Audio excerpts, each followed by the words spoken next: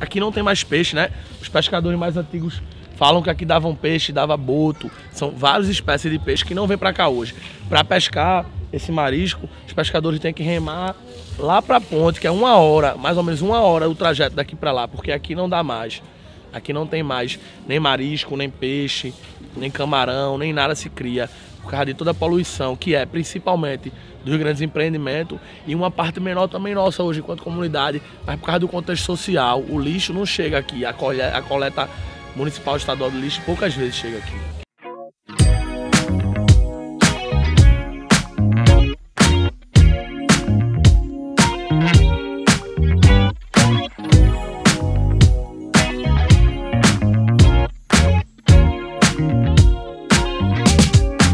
Welcome to episode 3. In our first story, we talked to the original settlers of the luxurious neighborhood of Boa and they told us how their way of life had all but vanished. Today, we're talking to one of the last communities of fishermen in Recife who still live in traditional stilt houses. Estilo is our expert for the day. He's introducing us to key families in the community, which he knows inside out. Right, let's get started.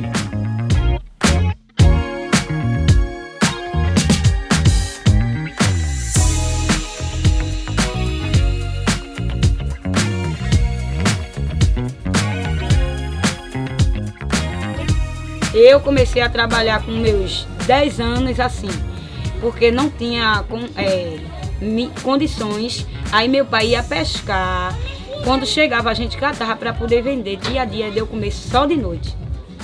De verdade. Mas mesmo assim a gente ainda dava graças a Deus. Hoje em dia já melhorou um pouquinho. Só que eu tenho meus filhos, eu quero dar o melhor para eles com uma condições melhor. E eu gostaria que me desse assim oportunidade de trabalho, de qualquer trabalho. E eu tenho um sonho, apesar que aqui não tem, né? De trabalhar no carro do lixo, no carro do lixo, carregando lixo, que eu acho um trabalho bonito e importante, que muita gente não dá importância.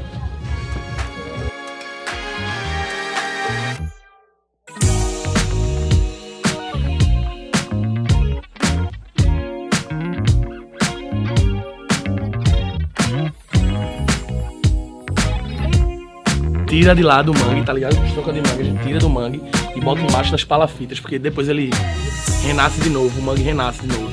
E fica melhor, tá ligado? Só que a cada seis uhum. meses tem que trocar, porque não por causa da troca, mas por causa da madeira. A madeira vai ficando pendendo. Vamos chamar de bioconstrução, é. bioconstrução na raça, né? Bioconstrução que precisava. Então, essa teve mais peso do que as estroncas aguentaram. Porque assim, normalmente tirar a estronca é, é difícil e comprar não é tão barato. Tem quem tire, mas é um trabalho manual muito difícil, vai. Tem que ir pro mangue, tem que tirar o tamanho certo. Aí a galera compra, aí às vezes é. tem que comprar 10, mas só compra 5.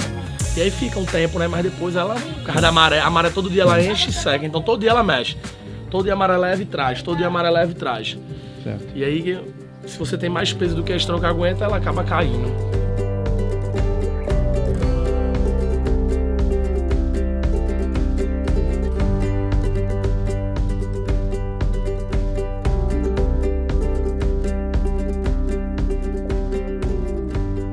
Tem discriminação porque moro em Palafita, discriminação porque tem muitos filhos, discriminação porque eu não tenho um recurso de entregar um currículo com a roupa decente. A gente não tem, então quando vai no shopping comprar alguma coisa, a gente tem discriminação em loja porque não anda decente. E eu acho assim que para a pessoa ser uma pessoa boa na vida, não ter esses recursos de roubo, não é preciso estar bem vestido não.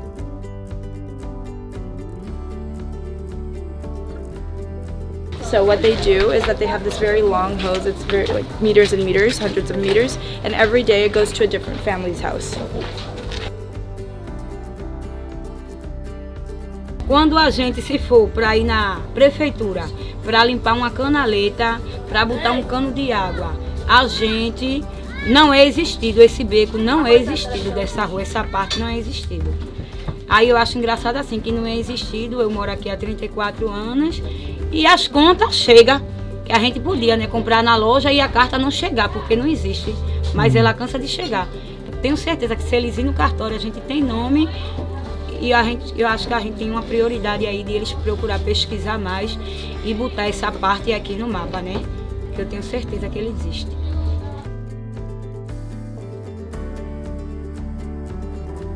We've found out from another neighbour that the mangrove is now a protected area in the city of Recife.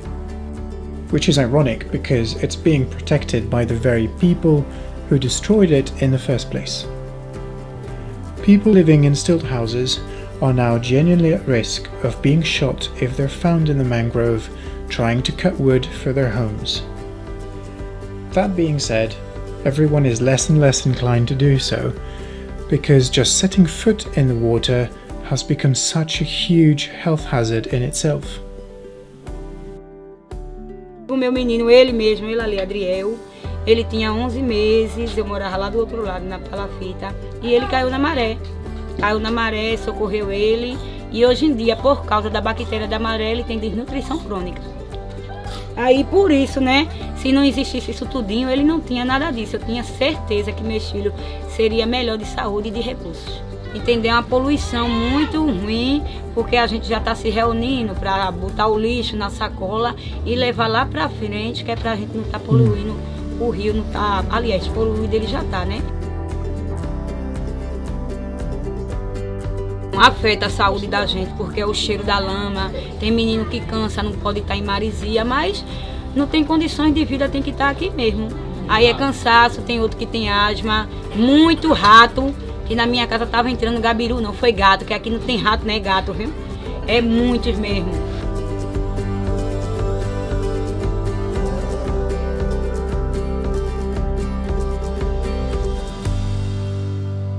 Da poluição vem, de prédio, vem até através mesmo dos pessoal da palafita. Mas se tivesse assim uma palestra para a gente, para eles se reunir com a gente, se comunicar, Next time, we're visiting the proud neighborhood of Alto Santa Terezinha, which has become a model of rehabilitation among favelas in Brazil. We'll find out how they've secured a protected status managed to lower crime rates in the area and get children into university for the first time ever.